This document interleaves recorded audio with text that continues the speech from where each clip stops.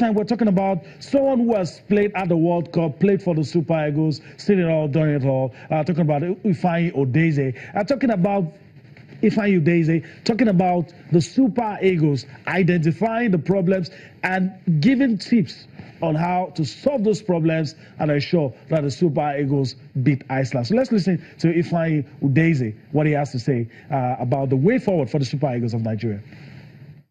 The hunger was not there, uh, midfield problem. You know, uh, what I understand is I see that maybe some players are not played in the right position you know, which um, is a very big problem. And also our midfield, they are not really going hard. If you look at them, you can't have a white player jamming you like hitting you like four or five times in the in a, in a game, and you can't even you know be strong and hit the player just once.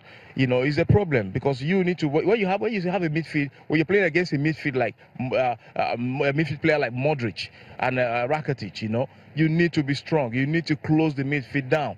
We're playing against Iceland on Friday. Very important very important. All they need is just to concentrate. Concentrate, talk to themselves, you know, uh, play like a family, help one another. And I know we'll come out victorious in that game. I, I'm very, very positive.